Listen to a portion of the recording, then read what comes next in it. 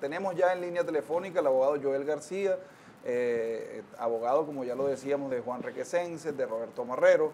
Eh, bienvenido, doctor. Buenos días, Fernando. Buenos días, Israel. Buenos días a toda tu audiencia. Bueno, eh, la semana pasada también vimos revuelo en los tribunales porque había sido trasladado Juan Requesense. Cuéntenos qué ha ocurrido con el caso en las últimas semanas.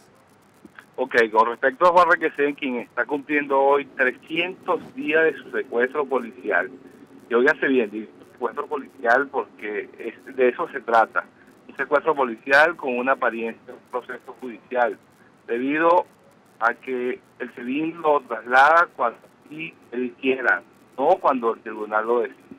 Estamos en etapa de la fase de, de audiencia preliminar, comenzamos el 22 de febrero, ya, no lo hemos culminado.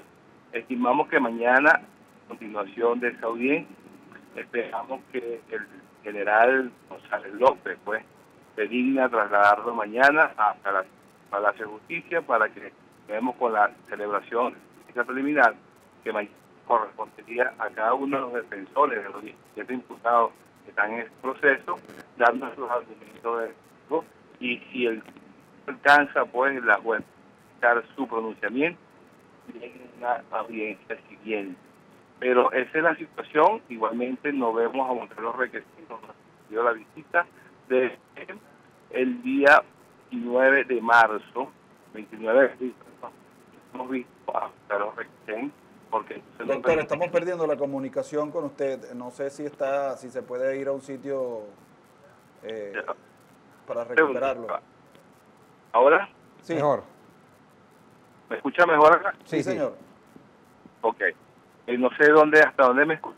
Eh, fíjese. Las fechas, eh, justamente hace cuánto no tienen acceso a Requesens y yo quisiera agregarle, ah, desde qué fecha no tiene acceso la defensa, pero si hay algún familiar que sí haya podido verlo o constatar por lo menos su estado.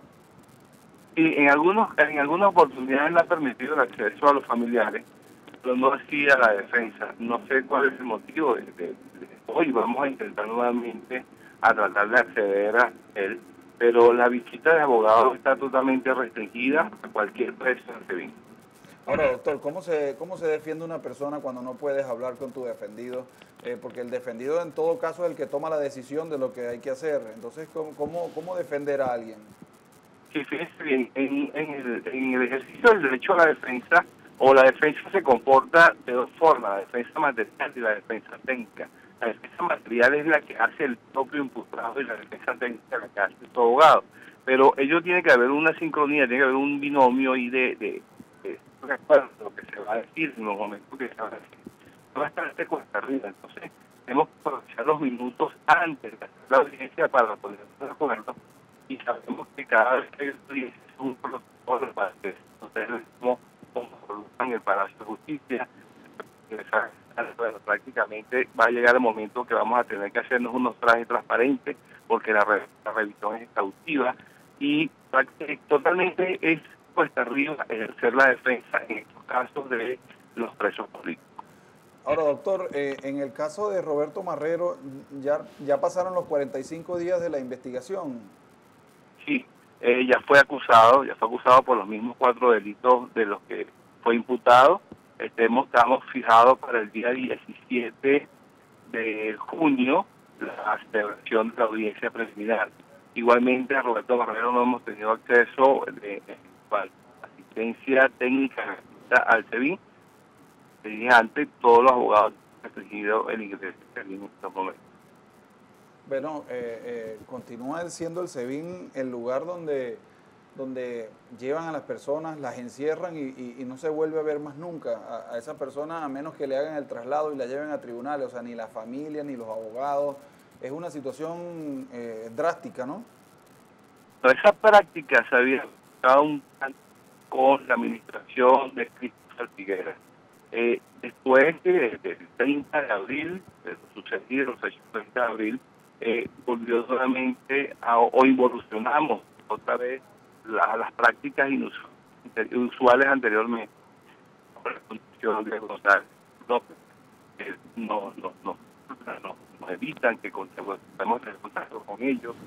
Traslados se hacen a merced del director, digo yo, porque no sé si es la vicepresidenta de la República, porque es la, la superior inmediata de, ese órgano policial, o bien del presidente eh, Nicolás Maduro, quien haga, quien ordene que no se hagan los traslados. Esa es la situación. Allí gobierna es el TEVIN, el tribunal es poco lo que puede hacer, el tribunal no podría sobre ese órgano policial. Eh, en todo caso, la, la llegada de, de, González López nuevamente al SEBIN es la que, la que tranca el juego nuevamente. O sea, González López es el hombre que se la juega con el gobierno en cuanto a violación de derechos humanos.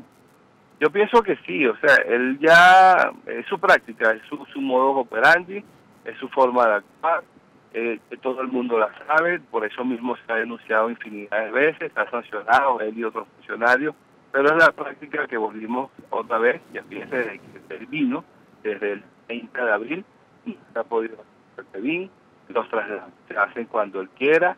Eh, ya volvimos otra vez, y usted hace un comentario hace rato con, con respecto al diputado eh, Zambrano, que ese sí tiene una situación incluso hasta peor, porque ni siquiera la defensa privada pudo eh, decir eh, nada y no se sabe absolutamente de las condiciones en que se encuentra.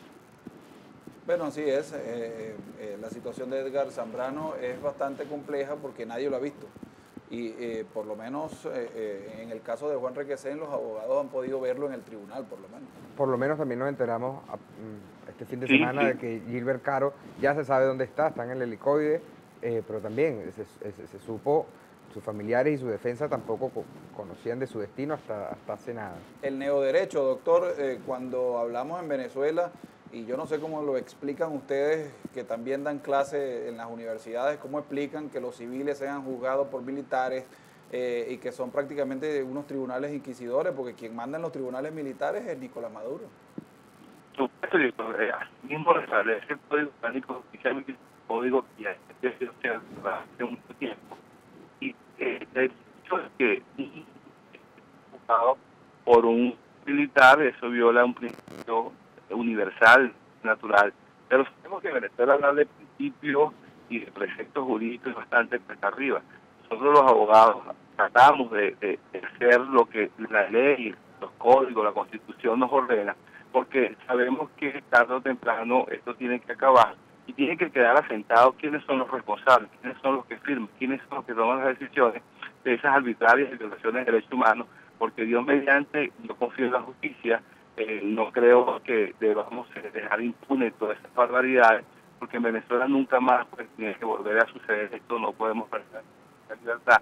Y los, los, que formamos a futuros abogados en la justicia, al contrario, debemos enseñar el deber ser a todos esos estudiantes, porque son las personas llamadas a ocupar los cargos que hoy día ocupan tantas personas fieles o subordinados a al Poder Ejecutivo y eso no es el deber ser de un juez. Entonces debemos manejar lo que está sucediendo como ejemplos de malas prácticas o de malas praxis en las universidades. Y eso es lo que yo me dedico y llevar conocimiento del derecho penal hoy en Venezuela y lo derecho penal del deber ser. Bueno, doctor, muchas gracias por atendernos acá en Benepres. Gracias, no, gracias para él, un abrazo y salud y siempre a la orden. Siempre está a su casa, doctor. Joel García, abogado penalista, profesor universitario, abogado del, eh, del diputado Juan Requesén.